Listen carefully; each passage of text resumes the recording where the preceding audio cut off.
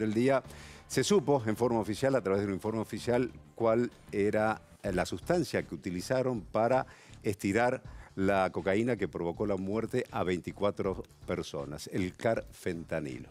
Así es, esto es parte de las pericias que se llevaron adelante en dos lugares distintos en la procuración o encargada por la procuración bonaerense, otro que, se, que realizó la policía también eh, científica de la provincia de Buenos Aires. Y la pregunta es, ¿qué es el carfentanilo? ¿Cómo puede ser con eh, lo, lo, destructivo y lo dañino que es? ¿no? Se habla de 10.000 veces más potente que la morfina y 100 veces más potente que el fentanilo, que fue eh, el primer componente de que empezamos a hablar y se sospechaba cuando eh, se conoció de esta cocaína adulterada que dejó 24 personas eh, muertas y más de 200 que tuvieron que ser hospitalizados y atendidos justamente en el sistema de salud. Está con nosotros Sergio Berni, ministro de Seguridad de la provincia de Buenos Aires. ¿Qué tal, Berni? bueno, ayer había surgido otra hipótesis. Esta vez finalmente es, es oficial, es un comunicado de la Procuración es esto lo que tenía la cocaína contaminada. ¿Qué significa y cómo se consigue en la Argentina? Sí, en realidad eh, este análisis nosotros eh, cuando vimos que no podían procesar rápidamente las muestras, pedimos autorización al fiscal. El fiscal el martes a la noche nos envió la droga, así que el miércoles ayer comenzamos con los estudios, ya para la noche prácticamente teníamos los resultados. Esta es una droga. Primero hay que saber que eh, esto lo hicimos en los laboratorios nuestros de policía científica. Los laboratorios de policía científica, hay solamente tres laboratorios en el país que están certificados por Naciones Unidas. ¿Eso cómo se certifica? Naciones Unidas manda un producto permanentemente al laboratorio.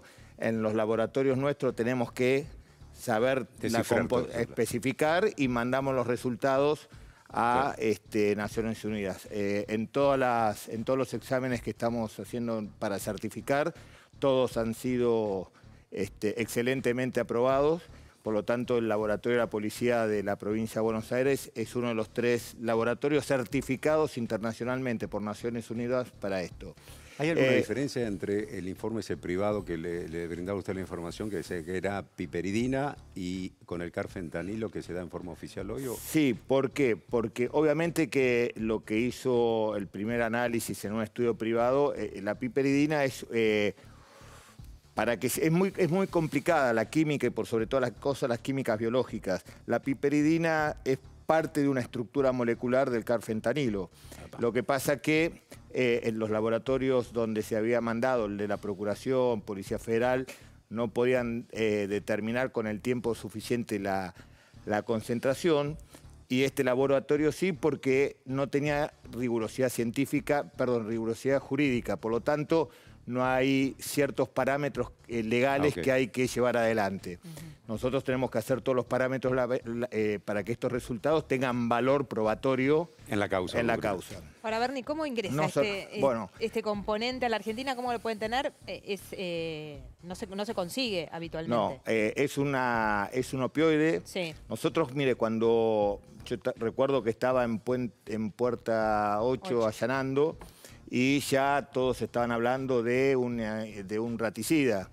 Yo le explicaba que había que buscar por el lado del fentanilo.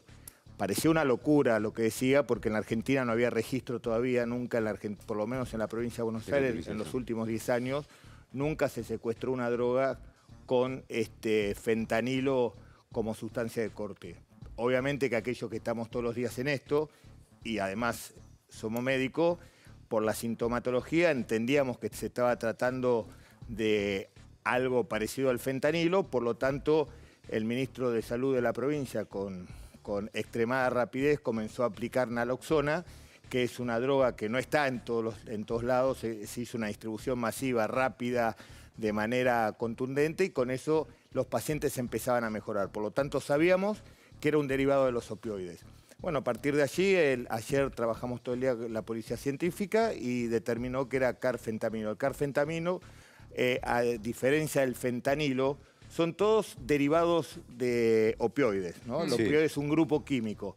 Hay naturales como la heroína o la morfina, o lo, que muchos, muchos seguramente han tomado. hasta hace unos 10 años atrás, la codeína, que era un opioide que se ponía eh, de manera frecuente en los antitusivos, porque calmaba la tos. Después, obviamente, con, el abuso de opioides se, sacó de circulación Así que los que tenemos muchos años ya hemos consumido opioides en este sentido. Ahora, ¿Pero este carfentanilo se produce en Argentina o, se, importa directamente y llega como carfentanilo? El fentanilo se produce, no se produce, el, el, fentanilo medicinal se produce en varios laboratorios, por sobre todas las cosas en lo que se llama el Triángulo de Oro. Este, se produce en India, se produce en laboratorios de Estados Unidos, laboratorios este, internacionales, obviamente que ese fentanilo tiene una trazabilidad y tiene un control de calidad. Por lo tanto, la fórmula del fentanilo que se produce en la India es igual al, fentanilo que se produce en Estados Unidos. El problema es que como son opioides sintéticos, se pueden producir no solamente en un laboratorio químico, sino también en la cocina de la casa de uno. Y por lo tanto, si le no hace todos los, porque son reacciones eh, químicas muy complejas que si en una lleva un, paso diferente, en vez de fentanilo hace algo parecido al fentanilo, pero a veces tiene peor potencia que el fentanilo. En este caso, el carfentanilo, en vez de ser un analgésico, es un sedante que se usa de, eh, en veterinaria y para grandes animales, porque es tan potente, tan potente, tan potente que solamente se usa para elefantes y rinocerontes. Este, para que tenga una idea, con un granito de sal del tamaño de un granito de sal produce la muerte de manera instantánea en los pacientes. Y eso era lo que veía mientras estaba recorriendo la villa, que los pacientes eh, era, era, llegaban prácticamente muertos. Si no hubiera sido por la rapidez del Ministerio de, Salud, seguramente que la tragedia hubiera sido mucho mayor. ¿Esto descarta eh, la guerra de narcos? No, la esa guerra, de narcos nunca existió. La guerra de narcos nunca existió. Pero es, un error del de quien cocina? Mire, eh, en realidad, eh, recién este, estaba viendo que decían este, que era una mezcla muy este, exótica, muy, muy preparada. Primero, por lo que hemos estudiado nosotros, ni siquiera fue una mezcla. Acá hubo un error, le pusieron eh, el carfentamino y ni siquiera lo mezclaron todo bien. Por lo tanto, hubo dosis que fueron extremadamente este, potentes y otras no. ¿Por qué? Porque de la misma muestra tenían diferentes concentraciones. Por lo tanto, la primera, la primera certeza que tenemos es que no hubo una preparación muy profesional. Digo, por un lado, se necesita muy poca cantidad para hacer un desastre. Un desastre. Esa poca cantidad también representa mucho dinero. Eh, sí, no. Depende. Porque digo, ¿cómo llega a manos del que cocina? Bueno, es una droga. el fentanilo y el carfentanilo son drogas, son opioides sintéticos que están haciendo un desastre eh, por sobre todas las cosas en el sur de Estados Unidos. Eh, llega obviamente de la misma manera que llega la cocaína. Hmm. La cocaína no se produce en Argentina, llega este, de contrabando, si quiere ponerle, este, a través de la ruta que viene Colombia, Perú, Bolivia, antes ingresaba directamente a Bolivia, ahora pasa, se está cambiando la ruta por Paraguay, porque Paraguay, a ser un gran abastecedor de marihuana, también empieza a concentrar el mercado de la cocaína. Pero en este caso, nosotros veníamos ya siguiendo a este famoso paisa. En esas investigaciones no se olvide que nosotros habíamos pedido su detención ya en diciembre. Por eso, cuando sucedieron estos, estos incidentes, eh, le pusimos una pistola en la nuca a la, a la justicia y se la sacamos a las 3 de la mañana cuando nos dio las órdenes de allanamiento.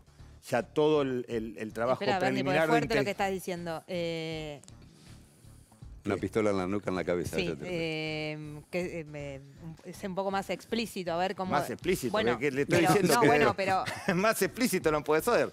Si quieres se lo explico en otro término. Trato de ser educado. Le puso presión a la desde, Desde diciembre que estábamos pidiendo los allanamientos, habían quedado, uno no sabe por qué, por ahí durmiendo hmm. y logramos que a las 3, después de trabajar todo el día, a las 3 de la mañana lograran firmar los allanamientos y salimos. Y ahí en esa investigación, esto es lo interesante para...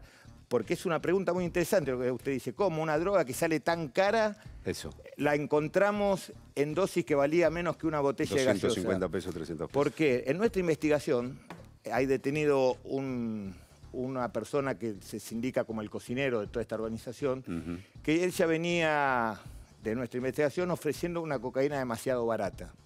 O sea, que tenía casi nada de cocaína, mucho polvo o sustrato y mínimas dosis de este fentanilo genera una sensación. una sensación como si fuera cocaína, por lo tanto, sin ser cocaína, tenía una dosis más barata. Obviamente que eso que usted habla, que es cierto, el fentanilo se utiliza eh, en drogas de máxima pureza y se utiliza para eh, no solamente potenciar el efecto de la cocaína, porque además hay un acostumbramiento, como todos los fármacos, usted hay acostumbramiento al alcohol, hay acostumbramiento a los psicofármacos, cuando una persona toma mucho tiempo pastillas para dormir, es como que se va acostumbrando, a la cocaína le pasa lo mismo, por lo tanto se le pone ese fentanilo para que tenga un mayor poder y otra sensación, porque actúa sobre diferentes receptores, sobre diferentes lugares del cerebro, entonces produce otras sensaciones pero además tiene un poder aditivo muy fuerte.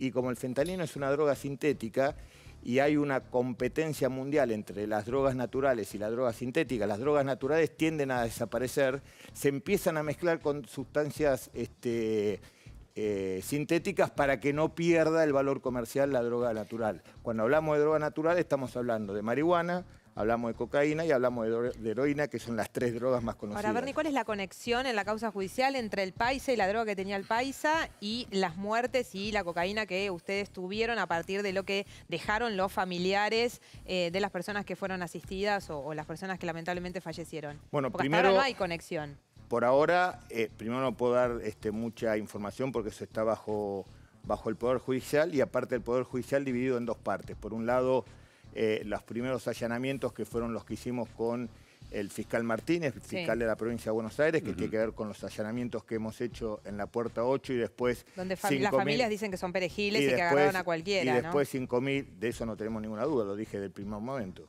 ¿Y ¿Por qué este, siguen detenidos? Eso pregúnteselo al fiscal. Obviamente alguna relación tiene. Este, y por eso salimos a buscar a estos que detuvimos a las 4 de la mañana, porque ya veníamos investigándolo. Mm. Cuando digo perejil, ninguna persona que vende droga es perejil. Partamos de esa base. Pero hay una madre que está denunciando que la policía, eh, cuando fue a hacer los allanamientos, lo dimos la semana pasada aquí, em, les plantó la droga en la casa. Ella reconoce que su marido es consumidor, pero que lejos está de vender, y detuvieron a él, a su hijo y a su hija que estaba circunstancialmente en la casa. Yo no voy a, discutir, obviamente, con una persona que o un familiar de detenido. Para el familiar de detenido siempre es inocente, obviamente, y la ley dice que uno es inocente hasta que se pruebe lo contrario. Eso se lo tendrá que explicar el fiscal, que es la persona que decide sobre la libertad o no de, una, de, un detenido. Eh, después, eh, la causa también tiene la justicia federal, que son las que hicimos a las 4 de la mañana. Por lo tanto, lo que estamos viendo ahora es desde la justicia provincial. Hay que ver las drogas de la justicia federal. Ya pedimos que nos manden al laboratorio para este, empezar a ver si encontramos este, una relación entre una y otra.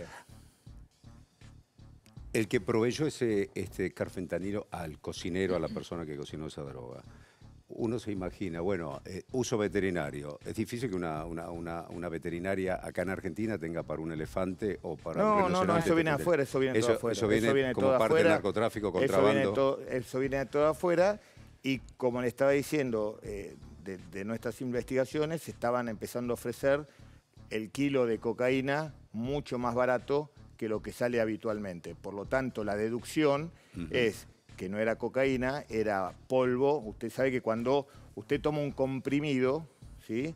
la cantidad de, medicamento que tiene ese comprimido es ínfimo, es microscópico. Después se le pone toda esa sustancia que se llama expediente, excipiente para que lo pueda tomar. Bueno, ese excipiente por lo general es fécula de maíz, este, algún tipo de esos sustrato que se mezcla con este con este carfentanilo para simular, con muy poquita cocaína, para simular el efecto de la cocaína. Perry, esto estalló acá en Puerta 8. ¿Puede haber otros, otros lugares del conurbano o de la provincia de Buenos Aires que una de las estén utilizando esta Una de las particularidades de, de, esta actividad ilícita que uno no puede cuantificar ni cualificar la calidad ni la cantidad de la droga que está circulando. Por lo tanto, eh, esto es un hallazgo normal en muchos países y es la primera vez que sucede en la Argentina. Por lo menos nosotros en 10 años nunca tuvimos fentanilo o algún derivado del opioide eh, mezclado con cocaína. Ahora, lo que no se termina de entender, Bernie, eh, y no sé, la, hipótesis de trabajo que, tendrán ustedes también, es eh, si estos opioides son caros, ¿por qué los estarían utilizando? ¿Con, ¿Con, qué finalidad? Por eso se lo acabo de explicar. en las drogas, en las drogas, en las cocaínas de máxima pureza, se utiliza para potenciar el efecto de la cocaína, para evitar que haya un acostumbramiento y tener otras este, sensaciones distintas a la cocaína de máxima pureza. En este caso hay mínima cantidad de cocaína, mínima, prácticamente nada, y con una gotita de carfentanilo usted simula lo que puede simular con un kilo de cocaína. Por lo tanto, la ecuación económica rinde. Pero usted está hablando entonces de una banda como muy sofisticada. No, absolutamente, por el contrario, nada sofisticado. De hecho, la, droga estaba mal mezclada porque en cada sobrecito había diferente concentración de carfentanilo y de cocaína. Por lo tanto, esto fue algo extremadamente casero. Eh, yo casi hasta me imagino la situación, aquellos que estamos todos los días en esto, me imagino la situación, pero fue algo prácticamente tan casero y tan improvisado que ni siquiera pudieron homogeneizar la, mezcla. Berry, eh, por último, se nos acabó el tiempo, pero una pregunta, eh, dejando de lado todo esto. Usted dijo, hace 20 años me vengo preparando para ser presidente. Oh. ¿El turno es el 2023? No, no sé, miren, todos los que estamos... Yo cuando pisé por primera vez la Facultad de Medicina, me preparé para ser el mejor cirujano. Uno se mm. prepara para eso. Cuando eh, practiqué deporte, me preparé para, para ser el mejor uno siempre se prepara para hacer lo, mejor en lo que está haciendo. En mi caso, la política, obviamente, para ser el mejor ministro de Seguridad. Después, si se da, se da. Si no se da, somos todos militantes eh, políticos.